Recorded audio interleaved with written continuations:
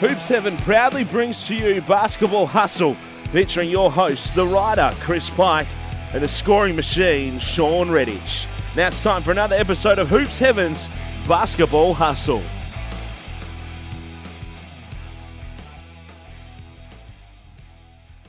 Hello and welcome to another week of Hoops Heaven's Basketball Hustle, and it just never seems to stop. We've got plenty to talk about once again this week. It seems to be more and more to talk about for us every single week here on the show. Of course, we'll have, as always, the Tab Touch preview with Matty Knight. We'll have the Damo Award with Damian Martin, thanks to Boomering. But the rest of the show, as we dissect everything happening in the NBL, plenty happening on and off the court for us to get through, and there's only one man to do it with. So I'll be joined by the scoring machine, Shawn Redhage, once again. How do we find you now on the eve of Easter, Shawn?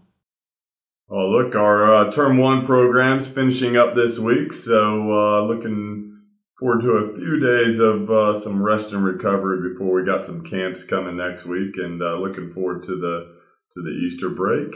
Mm. It's uh, it's been a, a, good good term, but uh, ready for, ready for a little break in uh, break in the action. Yeah, it's it's a strange one. I don't know if we've ever had an NBL season in your career that's run run through Easter. At least if it is, it's deep into the finals or grand final time. It, it feels strange to say that we're getting to April and we're halfway through an NBL season. It is, you know, and there's still quite a few games to be played. You feel like yeah. they've, they've already played, especially the NBL Cup with the games almost every other day. That, uh, you know, normally by this this time in the season, 17 games in, you'd only have 10 or 11 games, but they mm-hmm. still got, you know, the Wildcats, if you're looking at their schedule, they still got 19 more games to play. So that's a lot of games. A lot can happen over the rest of the season. Absolutely. And the Breakers as well. They've got 20 to go. Um, so, yeah, there's plenty to get through. So, why don't we start off by going back through what we saw in round 11? Shawn, I'll run through the results and you can tell me what stood out to you. So, it started back on Thursday night and it was a tight one. Melbourne United got the win over the New Zealand Breakers 82 to 79 in Bendigo. And then the game that you saw, saw close up, the Perth Wildcats 81. They had to come from behind to beat the Illawarra Hawks 70. Um, the New Zealand Breakers then played well to beat to get a win on the board. They beat the Brisbane Bullets 81 to 76. Big win for Melbourne United 80 to 60 over Southeast Melbourne Phoenix. And then a massive statement performance, I thought, from the Perth Wildcats in Sydney to beat the Kings 89 to 65. Cairns Taipans important bounce back win for them 79 over the Adelaide 36ers 65. And then to finish up Monday night, Huge win for the Illawarra Hawks, their second home game only of the season, and they made the most of it 96 to 72 over the Brisbane Bullets. What stood out to you, Shawn, out of all of that?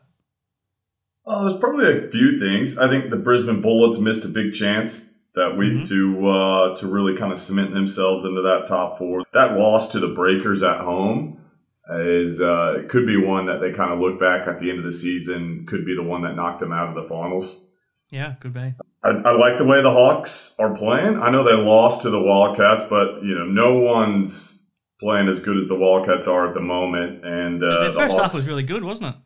They were fantastic, yeah. and probably just missing that next scoring punch in the third mm. quarter when they kind of needed someone to step up the score for them. But defensively, they were outstanding, I thought, and then they showed. You know, they finally got a home game, and that's why I think they're they're in that driver's seat to get into the top four because they got so many home games. And you see, you know, 24 point win against Brisbane. They looked really good at home.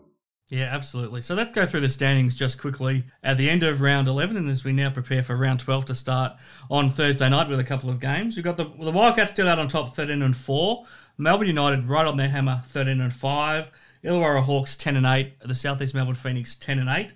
Then just outside the top four, Sydney Kings, 9 and 9. Brisbane Bullets are nine and nine, and then as you as you touched on last week, I still think this bottom three is probably out of the race just about. You would think the Adelaide 36 is seven and thirteen, New Zealand Breakers five and thir- five and eleven, sorry, and the Cairns Taipans five and fourteen. Do you still see it as a race between those top those top six? Yeah, absolutely. And you know, this last round doesn't change much mm-hmm. in my opinion. You know, 36ers losing to the Taipans, who haven't won a lot this season, is, uh, is probably a sign of where they're at at the moment. And the Breakers are just going to find it tough. I mean, they're five and eleven to be able to get wins while they're on the road is mm. going to be it's going to be extremely extremely tough. And, and, we'll talk about their their scenario a little bit later, but it's uh, you know, commendable effort, I think, to get that win against the Bullets, and I think they'll surprise some teams. But dig yourself out of a five eleven hole is going to be tough. Yeah, it will be. Okay, let's let's dig a little bit deeper on some of those teams. Let's start at the top with the Perth Wildcats because they had to dig deep on Friday night to win that game at home against the Hawks, and then to back it up, short turnaround. I think it was only sort of 40 hours between games and flying across the country to then dominate the Sydney Kings how they did. Um, you can't not be impressed with what they're they're producing right now. Um, it put, puts them on a, a seven game winning streak, and you have to like what they're doing. Well, I think they just have that that second gear where they can go to on the, on defense. I mean, we've mm-hmm. seen it a few times this this season. That 36ers win on the last uh, game in the NBL Cup where they came back from 21 down at halftime they've just got this gear that no other team. Kind of similar, I kind of felt like the Kings were last year when they had Bogut and um, they were just outstanding defensively. They could just kind of turn it up a notch and, and, put the clamps on teams. That's that's the way the Wildcats are playing at the moment. And uh, yeah, that Kings game, it, it was close up until halftime, and then you know the rebounding. You know, Adam their coach Sydney Kings, he, he talked about Adam Forde that you know they're just on a whole nother level as far as their rebounding. And the, you know the Wildcats aren't even the best rebounding team in the comp. It's actually the Illawarra Hawks. So that gives you a little bit of you know where the teams that are great rebounding are, are at the top of the, the standings. And uh, and so I think that's probably why the Hawks were able to stay in that game against the Wildcats as well because they can match them athleticism and rebounding wise. Yeah, it doesn't always reflect on the stat sheet, but when you watch a game that Perth wins, you always get the feeling that they've dominated the boards, and I think it's just the effort. They are always crashing the glass, and if they don't get the rebound, they've always given it full effort to get the rebound. And the offensive rebounds are massive, and and those games on the weekend, they ended up winning the possession game by quite a lot, and it's all on the back of that effort just to get the offensive rebounds and to get the extra shots. And you know better than anyone, you played under Trevor Gleeson. How much of a focus is it to end up winning the possession game because you know that you're just not going to lose too many games if you end up taking more shots than the other team. Well, it is a big part of Trevor Gleeson. And, you know, I just remember Tommy Jervis really excelled under Gleeson, especially, you know, that first kind of because mm. he loved the ability for Jervis to go get rebounds. You know, that was his one role pretty much. And then he developed his offensive game and his passing and made himself into a really good NBL player. But if you can rebound, you can play. And, you know, I asked Trevor Gleeson after the game against the Illawarra Hawks, what was it that, you know, they really liked about John Mooney? And it was purely just the fact that he could rebound. And, you know, if you can rebound, you can play for Trevor Gleeson. And it, it sets the tone that, um, you know, defense, you can play the best defense, but you don't grab that ball.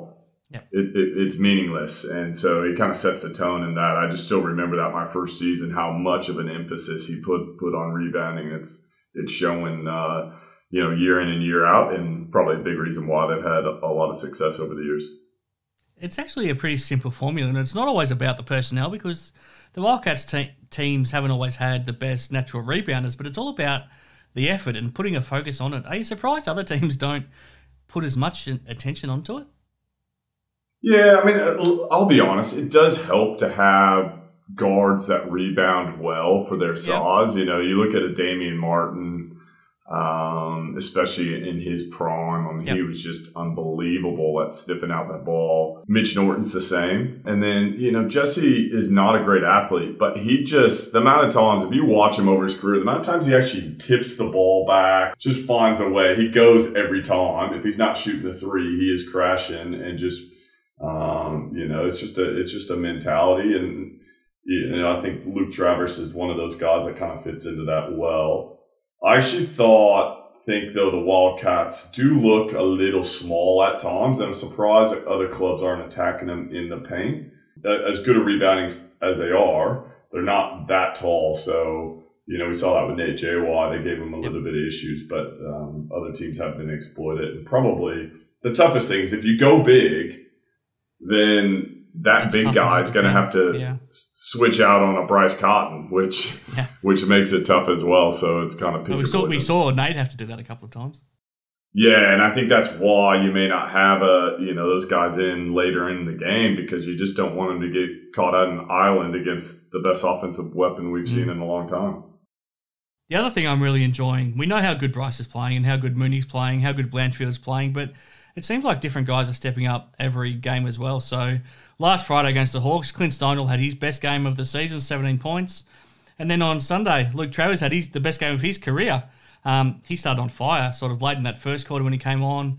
I think he had 16 points in the end, but I think um, 12 of those were just in a patch of about three minutes either side of quarter time.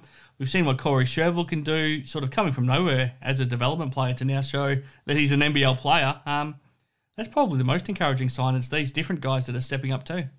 Well, yeah, I mean, you look at the Friday night game, and you know, Bryce Cotton was struggling. Mooney wasn't putting up big numbers yet, and still, you know, the sub in Clint Steindl, knocks down some threes and kind of keeps them in contention before the rest of the guys kind of find their groove.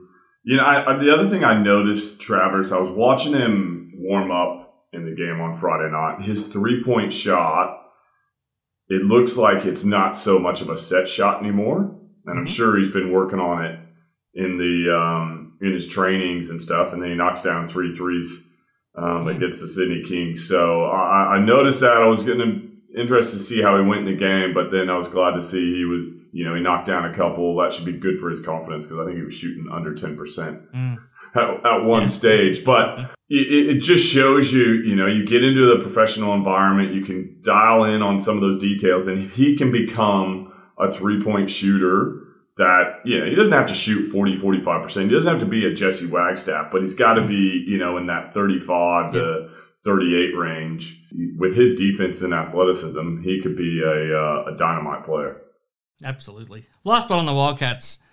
If the option becomes available to bring in an importer and if bryce gets his citizenship with that player having enough time to play the amount of games needed to qualify for finals would you do it right now or would you not putting at risk the chemistry that they've got right now it's, a, it's an interesting one. I'm not. Uh, I don't know if there's a the right answer there. Um, my only concern with not bringing in is if there is an injury to one of your really really key guys. Yeah. Um, it covers, especially to say like John Mooney. I mean, if John Mooney goes down, that is a huge hole. I mean, I, I we, we talk about Tom Jervis being able to play, but I, I, at the moment, I think he's more a 10, 15 minute guy. He's not your 25, 30, 35 minute guy that Mooney is.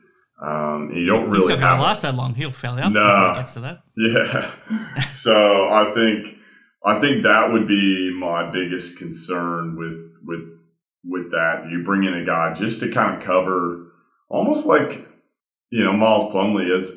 you know, he didn't play a mm-hmm. ton of minutes, no. but he was he was um, he was real effective in the minutes that he did play. So um, that would be that would be my my thinking is bringing in a four five that could kind of fill in some minutes if if you need to, and almost kind of be a bit of a luxury, but.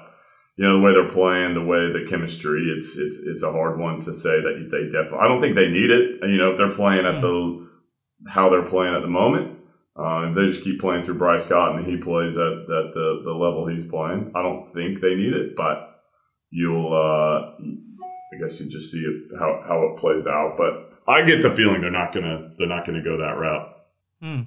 Yeah, it's probably looking that way. I would, I would assume, especially the longer that this takes. Um, now, what about Melbourne United? We were concerned about them. What we saw when they got hammered by the Sydney Kings a couple of weeks ago, but they've really locked down on their defense in their last three games. So they've won three straight and they've only conceded 65 points, 79 points, and 60 points in those games. I still feel like their offense can get a lot can get a lot better, but if you're only conceding those sort of numbers, um, you're going to be pretty tough to beat. Yeah, it's it's you know defense wins championships, and their ability to have Jock Landale in the middle, they're kind of swallowing everything up. Uh, gives them a huge advantage, and I think that that's you know as they kind of start to click later on in the season, they'll um, that'll their defense will be a weapon for them. So I think that they're you know them and the Wildcats deserve to be top two, and, and defense is probably the biggest reason they've been most consistent in that regard. But I would be a little concerned with their offense at times. I think that they mm-hmm. they kind of get bogged down and they're not as smooth and moving the basketball as well as they'd probably like. But as we, as we spoke, there's still 18 more games to kind of get that going. It's it's harder to turn the switch on on defense than it is on offense. Yeah, for sure. And they've got Scotty Hopson to come back, who gives them that little bit of an X factor on the offensive end as well. The New Zealand Breakers, I'm I'm full of admiration for what they're doing. They've been away from home for, for five months now. There's no end in sight to that. Um, and they're pre- they pretty much played a lot since Corey Webster went down and since Lamar Patterson went down and Rob Loe went home. They've pretty much been playing with six players. A couple of other guys get some old spot minutes, but basically it's six players that they've been going with. And Colton Iverson is now showing that he's a really good big man. Finn Delany and Abercrombie as the, the leaders of the, the group have been terrific. Tai Webster's showing that he's a star in this league. And Rasmus Bach is showing he's a terrific shooter. They, they got a win over the Bullets. They haven't got a lot of wins. They're 5 and 11, but they've got some help coming. And I'm just full of admiration that we were really concerned at times early in the season that they would just capitulate, but they're showing a lot of spirit right now. Yeah, I'm, I'm, sure all the hardships that they've had to being on the road for that long is kind of bonding them together, and they can kind of take some some pride in that. Uh, yeah, they've got you know the stack, the chip stacked against them at the moment, but they're, they're they are getting some quality wins, and they played better as of late. I, you know, if I, if I am the Breakers, I'm probably looking over the next 18 games and just kind of determine who we want in this club and in the culture. You know, this is two straight years there now that they've they've kind of started slow. Yeah. Um, and so they've got to figure out how do we how do we start the season a lot better. I know they've had to deal with some crazy injuries. I mean, Corey Webster injuring his hand cutting an avocado. you just it's hard to plan for that, right? But absolutely. Um, I guess I'd be disappointed with their start the last two years. I actually think they're gonna, you know, towards the end of the year, just all this, you know, the camaraderie they built, they're going to be a tough team to beat later on in the year. Probably a little bit too, too late, but if they get Corey Webster back, I'm I'm actually really excited to see McDowell White, see how much he's progressed over the couple of years. I was really impressed with him as a as a rookie with the Sydney Kings. So yep. uh, you know, I think he's going to come in, surprise some players, and, and probably just give them um, another another ball, another ball handler. I mean, you could even throw Abercrombie at the four, with yep. McDowell White at the three, and then the Webster brothers at the one two. That is a Absolutely. dynamic yeah. one through four, um, and then put Colton Iverson in there as your screener. That could be mm-hmm. a, a pretty potent lineup for the Breakers. Absolutely. And then you've still got Delany and then other new import um, Levi Randolph to come in as well. So I think they've got plenty to work with. And then then they got Bach as well to to be their shooter. So I think they'll be pretty pretty impressive throughout the second half of the season. I think they'll they'll start racking up some wins. Um, one team I'm not willing to say that about is the Adelaide 36ers. I've got some some real concerns over over the way they're tracking. They didn't look good up in Cairns. They lost to the Taipans, but I guess you can use the excuse that they were missing Isaac Humphries, they were missing Josh Giddey, and they were missing Isaac's replacement in the starting five, Keanu Pinder as well. But the Taipans were missing Majok Deng and and Kouat Noi as well, and the Taipans had been losing all of their games lately too. What do you think of the 36ers? And to me, the biggest question mark right now is why is Brandon Paul not being used more? Yeah, it's a, it's it's an interesting one because you brought in a guy like that to be your spark plug, and yeah. your season's going south. Throw him out there. Throw him out there. Let him play, and uh, and see if he can kind of be be that spark. My, my sense is he's not the player that that Conner Henry wanted. Well, he looked like he was in his first two games, didn't he? He did. I mean, he looked, especially that first half against the Wildcats. He he yeah. was outstanding. But I don't know the what's going on if he doesn't like this scenario. If he wants to use him coming off the bench, but it, it doesn't look like it doesn't look like that's gelling with with Brandon as well. I can understand maybe the first game just get your legs, but hey, throw mm-hmm. him out there. Your season's um, slipping away. He needs to be that that scorer for you. Um, because you've got, you know, you've got some solid pieces there in Sunday Dech and Daniel Johnson that, that can kind of play around around him, but he needs yeah, to kind of be I mean, that. Yeah, absolutely. That Jack McVeigh's, Jack McVeigh's playing well now. There's there's a lot of nice pieces there if you let your star import be a star import. But his last two games, he's only taken 11 field goals. It just doesn't make sense because we saw what he could do in those first two games and he's not starting right now. We're not seeing him until sort of five minutes into into each half, and then he's he's just not able to get into the game. I just don't understand it. Yeah, I mean, they've come out and said there's some conditioning issues, um, but he doesn't look to me. He doesn't look out of shape. And he's never, now that he's played, he tired. No. Now, now that he's played a few games, that's why I think there maybe there's some underlying things there that that might be going on that we may not be ability to see. Mm. But yeah, I, I, get the sense that he's not a long term solution for him. So yeah, trying to maybe. But you bring a guy out, you get, let him play to see if he maybe he can work himself in. I mean, you, you look at a guy, some guys that have come out here, they've started slow as imports, but you give them, you know, more opportunities and, and more experience, and they they blossom into outstanding players. I, I, look at a guy like Kevin Lisch as one of those that uh, maybe started a little slow, but geez, what a career he had. yeah. Um, Conner Henry, you played under him as a coach. Um, there was there was question marks over his ability to coach by the end of that season he did coach at Perth. From what you've seen from the outside, is he a better coach now than he was 12 years ago?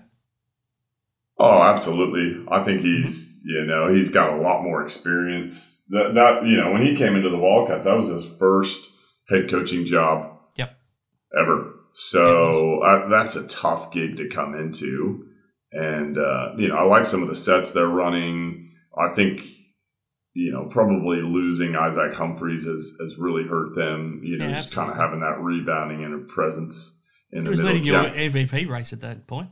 Yeah, Keanu Pinder hasn't panned out. I think that's probably a signing they'll they're they're they're not really happy with at the moment.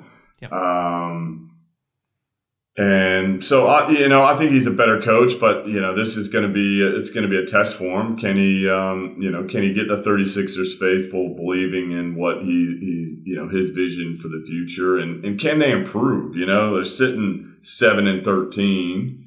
They've got a lot of road games coming up are hmm. they going to be able to improve over the last 16 games of the of the season? That's going to be that's what I'd be looking at. Can can he can he improve the team and buy get them buying into his vision for what they want to look like?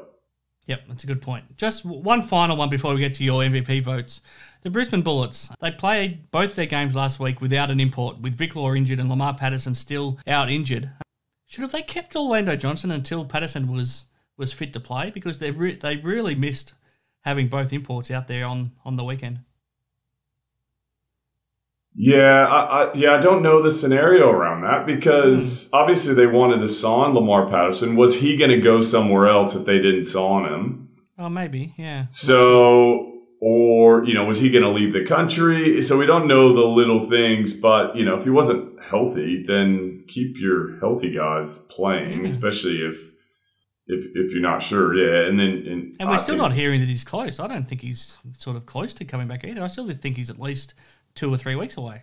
Yeah, and then when Vic Law goes down, that, that really yeah. really hurt them. That hurt my uh, multi last week. I was not expecting that. so um, you know that they should have kept Orlando Johnson. Yeah, I think so. Or at least maybe they could have signed him as an injury replacement for Patterson or something. Um, it just yeah, it's really hurting them right now not having an import. So we'll we'll keep an eye on that. Now, as we talked about, plenty happened in round eleven of the of the NBL, Shawn. Um, plenty of big performances. Do you want to run through your votes in our Hoops Heaven Play of the Year award?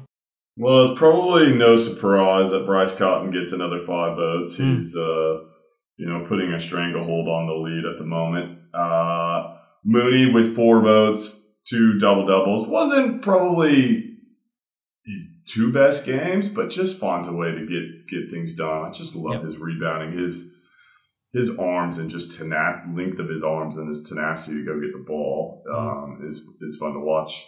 Then I like Tyler Harvey. You know, he, I thought he played okay against the Wildcats, but then he was outstanding in that win against against Brisbane. So he gets three votes. McCarron, um, just solid. You know, does all the little things and uh, United got two wins as well. So he gets two votes. Um, and then Colton Iverson with that 20 rebound game, he gets one vote.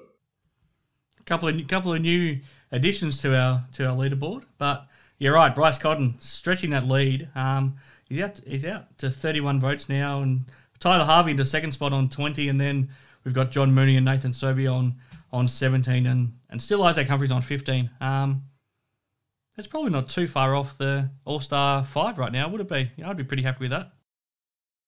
Yeah, yeah, you're right. You're probably, you know, it's, it's a tough one with Isaac Humphries because he's missed. I'd probably throw Jock Landale in there now. Yeah, but if, but if uh, Isaac comes back and plays well, then he's he's right in the hunt still, isn't he? Yeah, that's true. That's true. I think that you're uh, yeah you're right, right in there, and then see what uh, happens with, with some of the other guys that, that are coming back. We've got Mitch Creek coming back in, Vic Law, you know, depending on how long he's out. So there's some guys that still have a chance to crack in there. Casper Ware is always the ability to kind of explode and, and have a few weeks where he dominates. Mm. Okay, Shawn, let's take a break. Um, there was a lot to get through there. We'll come back and we've got some big topics to talk about before we close the show. But in the meantime, let's let Damian Martin take over with his Damo Award thanks to Boomering. Then we'll have a Tab Touch preview with Matty Knighton. Then I'll be back with you, Shawn, the scoring machine.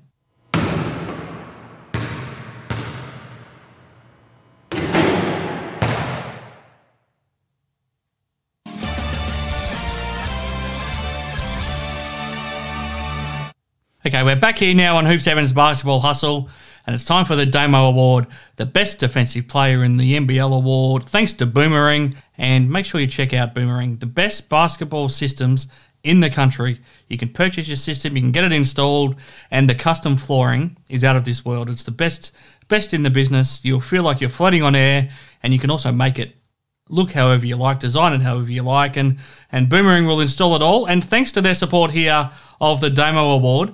Um, one of our listeners can go and purchase a above ground basketball system right now with 50% off. Just mention Basketball Hustle. You can also get an in ground system 25% off or some of those custom floorings that I talked about 15% off just for being a listener here of Basketball Hustle. So thanks to Boomering. And now let's get on to Damian Martin.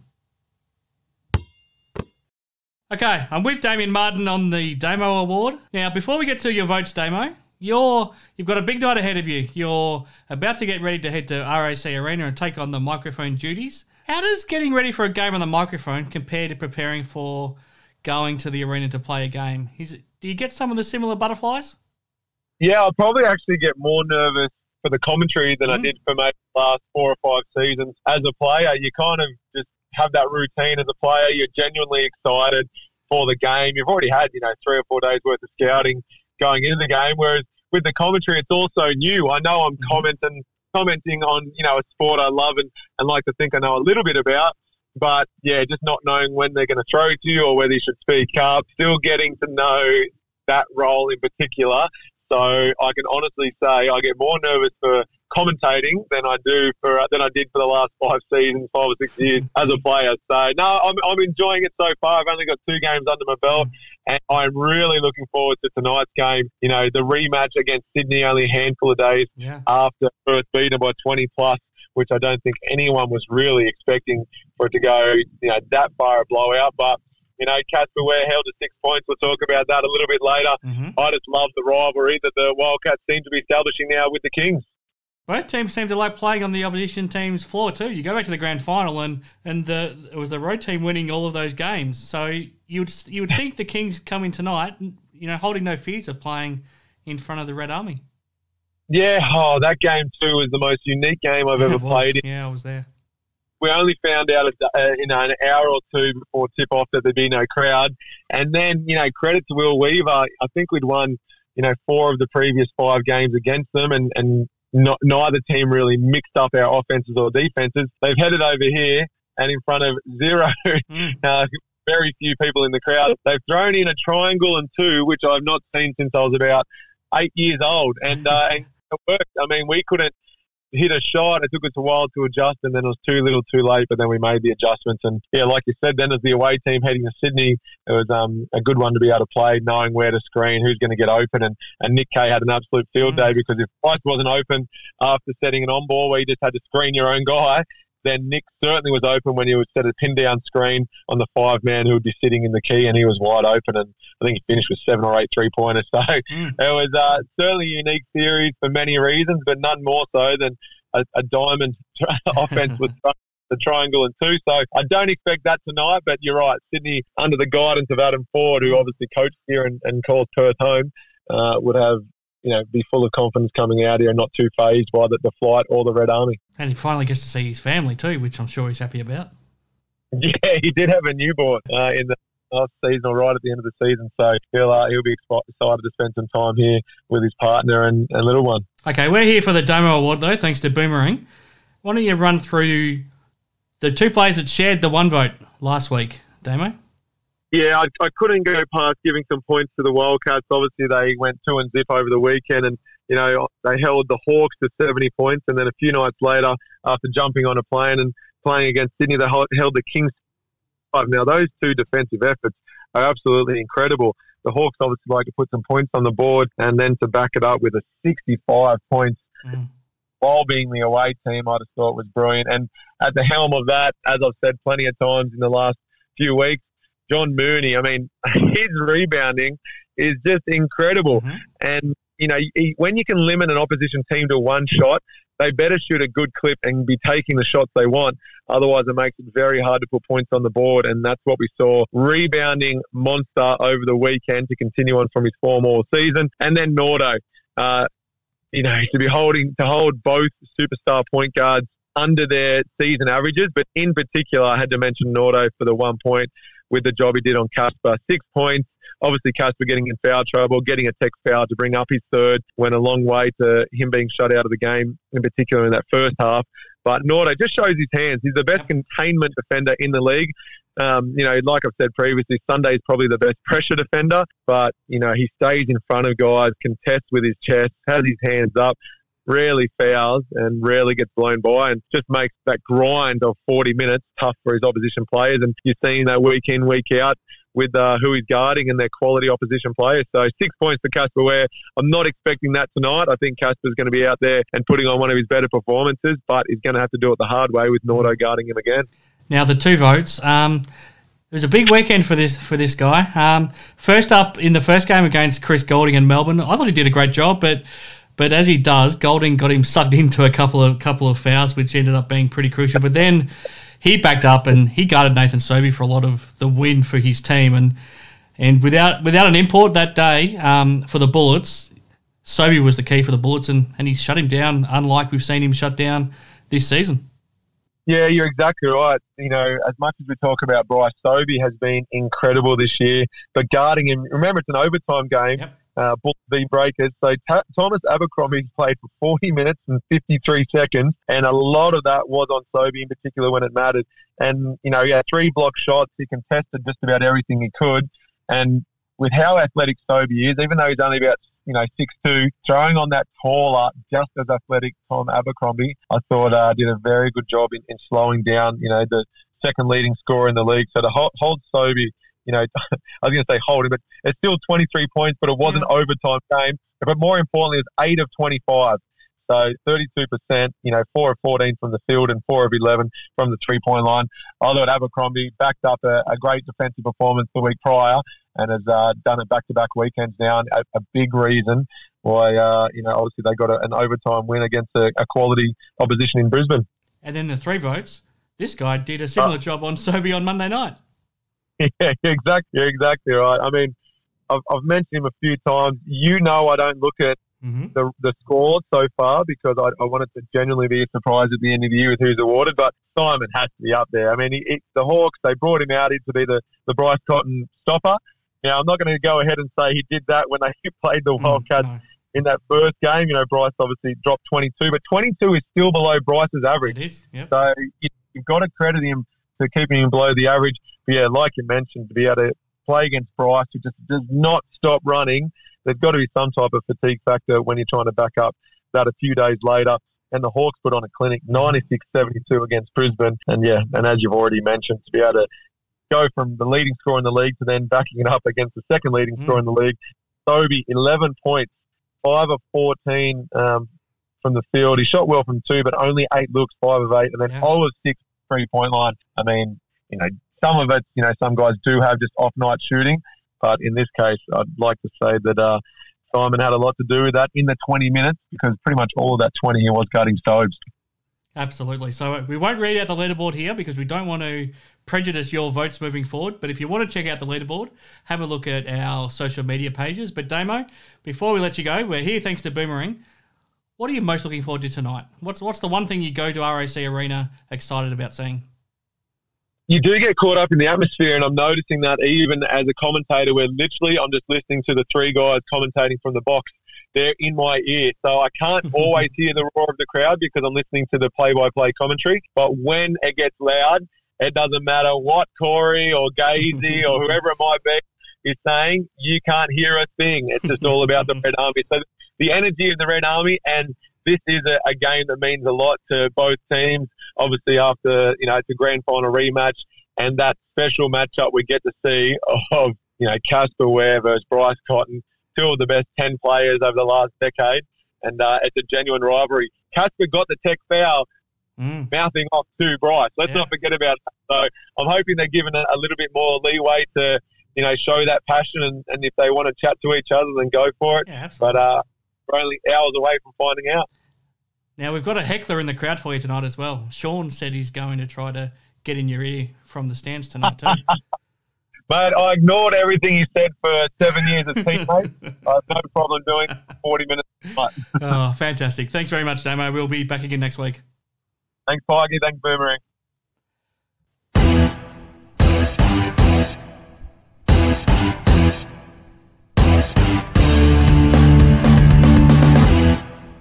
Big thank you to Damian Martin for the Damo Award. Thanks to Boomering. And now, here on Hoops Heaven's Basketball Hustle, it's time for the Tab Touch preview. And Matty Knight will be with me shortly, but we're just so proud to be able to team up. We've got three Perth Wildcats championship winning legends here with us on Hoops Heaven's Basketball Hustle every single week. Damian Martin, Matt, Matty Knight, and Shawn. And we're just so proud to, to team up with a with a successful and proud and a community minded WA organisation like TabTouch. So check them out, tabtouch.com.au, and especially check out all of the NBL betting markets right now. Everything you could ever hope for betting on a game, all of the, the, the top scorers, the rebounders, all of the, the game game line bettings, the margins, anything you could ever hope for, just head to tabtouch.com.au. Remember to gamble responsibly. And now I'll be joined by Matty Knight as we try to help you find find a winner here on the Tab Touch preview. Unfortunately, Matty Knight wasn't quite able to join us this week for our our Tab Touch preview, but we'll be back with him next week. And he's got he's got a lot on his plate right now. He's preparing his WA state country team for the national championships next week over over in Victoria. Um, but we'll get his tips out and we'll get his multi bet available as well this week as we try to continue to raise some some money here on Tab Touch um, for charity. But um, let's take a quick look at the round 12 matchups in the NBL. Um, Thursday night, it all gets underway with a massive doubleheader Easter Thursday. It starts in Wollongong, the Illawarra Hawks against the Southeast Melbourne Phoenix. And we've got the Hawks, thanks to Tab Touch, paying $1.72. And the Phoenix, with Mitch Creek back in the lineup, they're $2.05. Second game on Thursday night, as we just spoke to Damian Martin about. It's at RAC Arena, the Perth Wildcats on Tab Touch are $1.36. Warm favourites up against the Sydney Kings, $3.20 in a grand final rematch. Then the Good Friday action in the NBL. We've we're back to Melbourne, John Cain Arena. Melbourne United up against the Cairns Taipans, and we've got Melbourne $1.34 on Tab Touch against the Taipans $3.30. Then two games on Saturday. The Sydney Kings hosting the Brisbane Bullets. Short turnaround from being in Perth on Thursday night for the Kings. And second up, Adelaide 36ers back home. Their first home game since way back before the NBL Cup, and they're up against the Illawarra Hawks. And then on Sunday, two more games to close round 12 in the NBL. We've got the Southeast Melbourne Phoenix at home to the New Zealand Breakers, and then back up to Cairns for the Cairns Taipans up against Melbourne United. So I'll be right back, and we'll hear more from the scoring machine, Shawn Redhage.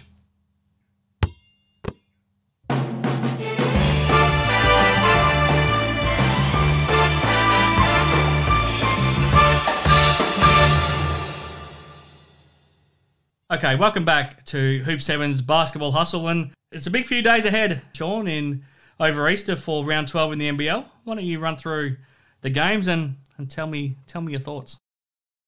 Well, it's going to be a big one on Thursday. Hawks in Phoenix. Uh, Mitch Creek is back, so we'll see how the uh, Hawks crowd um, deals with that. But I, I, like the Hawks at home. I like the Wildcats on at home on Thursday. Friday night, I, I don't think you can look past United being at home either. So I'm going to go with United. Bullets are struggling with some injuries at the moment. So we got Kings on Saturday night, Hawks again on Saturday at, at Adelaide. Mm. And then on Sunday, you've got Phoenix. I've got them beating the Breakers.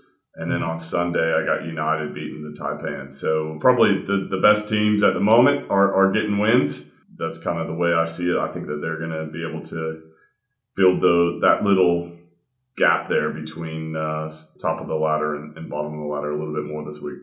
Yep. So we'll keep an eye on all of that. But there's been some big news away from the court this week as well, Shawn. And I guess probably none more so than, than Mitch Creek's reinstatement um, at the Southeast Melbourne Phoenix. So the situation was he was initially charged with with with assault, and then the first hearing was meant to be this week, but that's now been deferred until the end of the end of May. So initially the the NBL Basketball Australia's Integrity Committee and the Phoenix had all decided that it was in his best interest and everyone's best interest that he would be stood down from duties for now. But now that that hearing has been delayed, they've decided that he can come back to play given those two charges are still hanging over his head, given the charges are pretty serious ones of the the damage done to the woman that has made the allegations, and given um, nothing has really changed in the situation except the hearing has been pushed back. I don't think I'm very comfortable with the change in, di- in direction and allowing him to be back out there. And it's more so just you don't want to draw attention to this situation, and putting him out on the basketball court is the ultimate way of drawing attention to him right now. Um, what are your thoughts on the situation, Shawn? Well, you know, we talked about a couple weeks ago actually the way that it was handled, as I thought was the appropriate reaction, yep. Yep. Um, especially in the realm of where we're at in the world, what's happening, especially in Australia, Australia politics. Mm. I think that there's you know a lot more attention given to to this subject. So I think it's one of those things where it, way, where I'm reading it is the NBL has a rule that doesn't have a rule similar to I guess they're saying in NRL has a rule that if you are charged with uh, you know an assault or something that you can be stood down without um, but fault. because so, so, yeah, yeah, without, without fault. Yeah. Without any, yeah, but where I guess the NBL doesn't have it. So they don't have the actual right to um, stood him down. So then it becomes the club's discretion, I, my understanding. Um, and so the Phoenix are saying that um, you know it's this is a, a, case that's still being tried. He hasn't been convicted, um, and so we still want him a part of the club. I'm not a big fan of that reasoning, um, and I think to me, if if Mitch Creek is your eighth or ninth or tenth guy, is he allowed back in the club? I don't think he is. Mm-hmm. And it, so it kind of feels like I know you got to treat each situation, each player a little bit different, but I just wonder if this would be the same scenario. Would you allow your eighth, ninth, or tenth guy, or you know, Mitch Creek, which is pretty hard to replace? Is he allowed to be back in when he's contesting? I, I hope you know these charges aren't are found to not be true. Yeah, but I think you gotta I think you gotta allow that to play out. And if, if he has been charged, there's definitely there's some evidence there that that points to that being the case, it's not like this, yeah. you know, this is a baseless ac- accusation. No. They wouldn't be bringing charges if that was the case.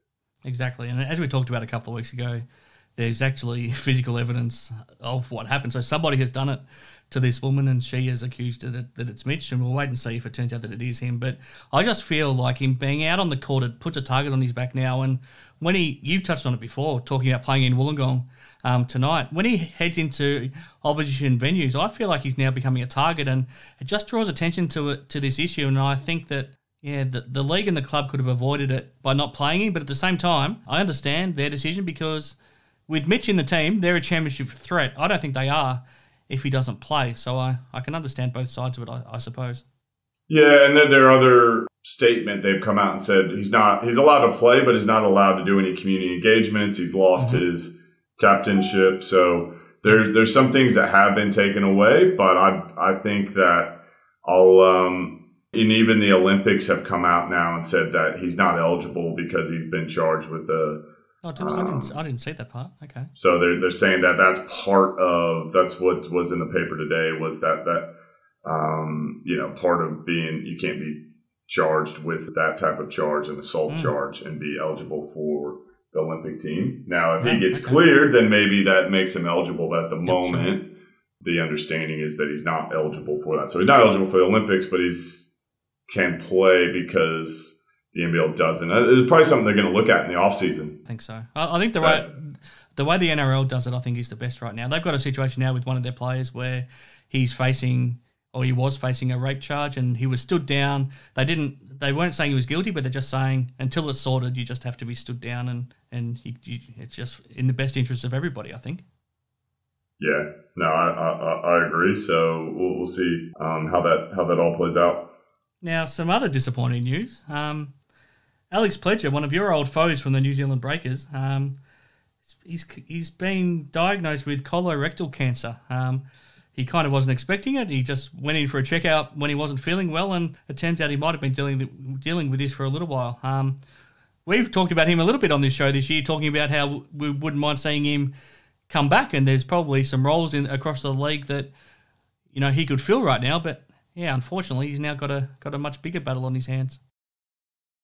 Yeah, it's a uh, yeah. You feel really really bad about that situation, and you know nothing but respect for Alex Pledger, and we wish him all the best. You know, and I think it kind of probably just puts things in perspective. I mean, you know, basketball is important, but your health and and uh, you know, living a, a, healthy life come, comes first, and you, you just don't expect it with a with a guy that young to be dealing with something as serious as that. So it's a um, it's one of those things. You know, there's been some great support put out there in the in the basketball community, and, and wish Alex all the best as he you know fights this. It's going to be you know I'd imagine that's going to be a, a, tough journey, but uh, you know he's he's overcome a lot of things to uh, to become an incredible basketball player, and, and wish him all the best on on his recovery. Yeah, he's, he's had a fantastic basketball career. He's, a, he's one of our favourites here on the show. He joined us last year on Hoops Heaven's Basketball Hustle, so we certainly wish him all the best. And just finally, one another one of your old foes, Mika Vukona. Um, if you're starting up a basketball franchise, um, is there anyone in Australia or New Zealand you would want involved more than Mika Vukona, who's just, just joined in an off off court role with the, the Tasmania Jack Jumpers? Yeah, I, I, it's a great signing. Um, mm. You know, and, and, Scott Roth coming in, you know, he knows the league, but he knows know the league inside and out. So to be able to get a guy, Mika Vukona, with his experience and caliber of uh, of the individual that he is, I think that's great to have them and just be a mentor to some of those the new players that they saw. And I think that you know that's a huge wrap for for Tasmanian Jack Jumpers to get him on board. I, you know, and that's you know, I look at the winners that you know come out of come out of the New Zealand Breakers. I'm surprised that those guys aren't involved with the Breakers Club. You know, look yep. at Dillon. I mean, obviously Dillon Boucher was up until last year. you know, Paul Henare, Mika Vukona. I just it, it kind of irks me a little bit that those guys aren't still involved because you know they built that club up to yep. some incredible, tough, hard nosed playing caliber club, and it just doesn't feel like that's the case. But you know, I mean, the Jack Jumpers, Tasmania, got to be excited they got Mika Vukona on board. Absolutely.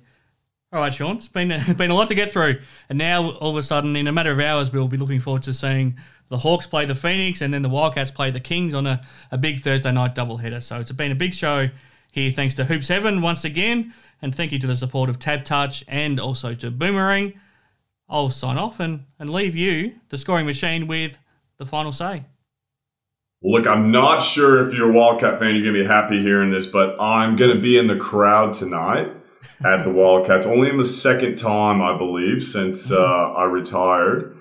Um, Damian Martin's got the sideline duty. So um, last time I went, the Wildcats lost. So I'm hoping mm. um, that is not the, the scenario tonight. But uh, yeah, I'll be in the crowd cheering on the Wildcats and looking forward to uh, to a great night of NBL basketball.